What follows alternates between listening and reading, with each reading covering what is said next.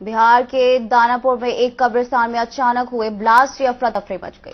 सगुना मोड़ स्थित कब्रिस्तान में अचानक हुए ब्लास्ट में दो बच्चे गंभीर रूप से जख्मी हो गए हैं जिन्हें इलाज के लिए पास ही के अस्पताल में भर्ती कराया गया है। पुलिस ने मौके पर जाकर देखा तो खाली मैदान में घास के बीच रखा एक बम फटा था और पास ही दो बच्चे घायल पड़े थे। घटना के बाद पुलिस ने तहकीकात करने पर पास ही से एक और ज़िंदा बम बरामद किया है। घटना के बाद इलाके में दहशत का माहौल है। पुलिस पूरे मामले की छानबीन में जुटी हुई है। घटना में घायल बच्चों का नाम सूरज और रोशन है। दोनों भाई चुप चुप चुप। आराम से बोल। करना